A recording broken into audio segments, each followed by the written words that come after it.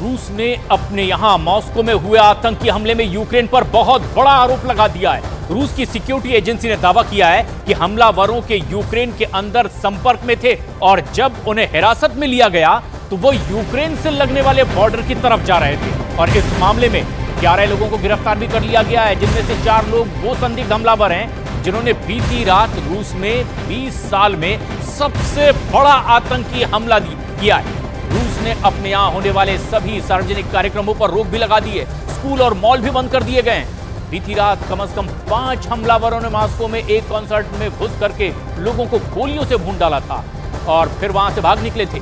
इस आतंकी हमले में मरने वालों का आंकड़ा बढ़ करके सौ के करीब पहुँच चुका है। आतंकी संगठन आईएसआईएस ने इस हमले की ज़िम्मेदारी ली है और अब कार्रवाई लगातार जारी है, लेकिन कुछ तस्वीरें भी कैमरे में कैद हुई है। किस तरह से आतंकी हमला हुआ, एक के बाद एक अंधाधुंध फायरिंग होती रही, कई लोगों को निशाना बनाया गया और मरने वालों का आंकड़ा अब सौ के पार जा चुका है। कई गंभीर रूप से घायल हैं, अस्पतालों में जिनका उपचार चल रहा है। ग्यारह लोग अब तक गिरफ़्तार किए जा चुके हैं इस मामले में। रूस में हुए हमले की दिल दहला देने वाली तस्वीरें भी सामने आई है। और तस्वीरें देखकर हर किसी का कलेजा काँप रहा है। हथियारबंद हमलावर मॉस्को के एक कॉन्सर्ट हॉल में दाखिल होते हैं। गोलियाँ लगातार बरसाना शुरू कर देते हैं। हॉल में रूस के एक मशहूर म्यूज़िक बैंड का कार्यक्रम होना था। शो हाउसफुल था और बताया गया कि 6000 से भी ज़्यादा लोग इस कॉन्सर्ट को देखने के लिए पहुँचे, मगर इससे पहले कि शो शुरू होता, आतंकियों ने वहाँ धवा बोल दिया और लोगों पर एक के बाद एक गोलियाँ बरसानी शुरू कर दी। हमलावरों ने कॉन्सर्ट हॉल में आग भी लगा दी।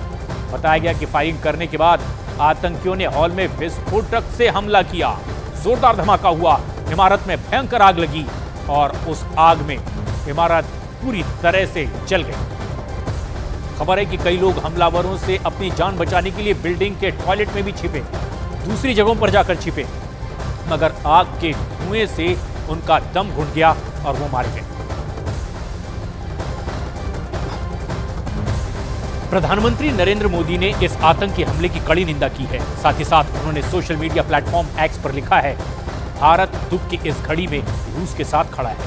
उन्होंने पीड़ित परिजनों के लिए अपनी संवेदनाएँ भी ज़ाहिर की है और इस आतंकी हमले की कड़ी निंदा भारत के प्रधानमंत्री नरेंद्र मोदी ने की।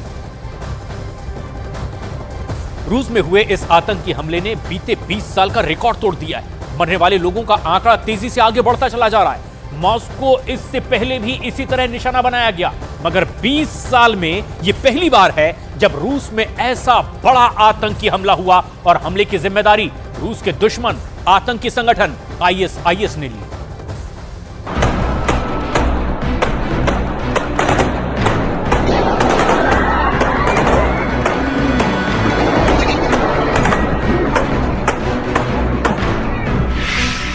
मॉस्को में हज़ारों लोग म्यूज़िक कॉन्सर्ट देखने पहुँचे थे, मगर उनका स्वागत आतंकवादियों की गोलियों से हुआ।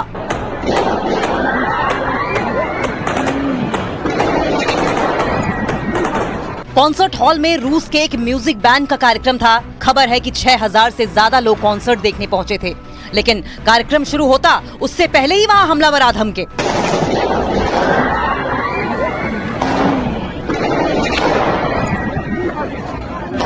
आतंकियों ने रत्ती भर का रहम नहीं खाया और कॉन्सर्ट हॉल में बेतहाशा फायरिंग कर दी।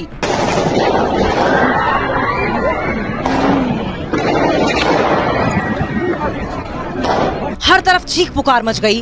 कुछ लोग अपनी सीटों के नीचे छिप गए तो कुछ अपनी जान बचाने के लिए इधर से उधर भागने लगे। इस जद्दोजहद में कई लोग नीचे गिर गए और भागते लोगों ने उन्हें रौंद डाला।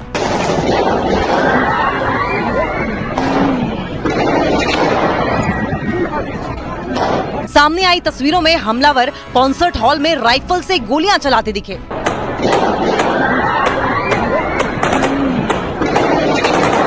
और बाद में उन्होंने इमारत को फूंक डाला।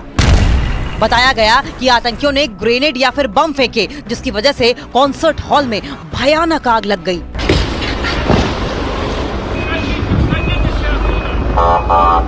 ऐसी आग की उसे बुझाने के लिए आसमान में हेलीकॉप्टर्स को मोर्चा संभालना पड़ा।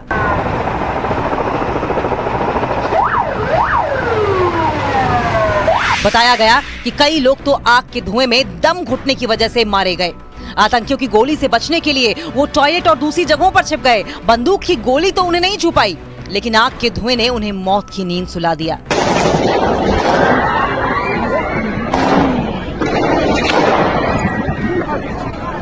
बीते कई साल में ये रूस में हुआ अब तक का सबसे भयानक हमला है, जिसकी ज़िम्मेदारी आतंकी संगठन आईएसआईएस ने ली है।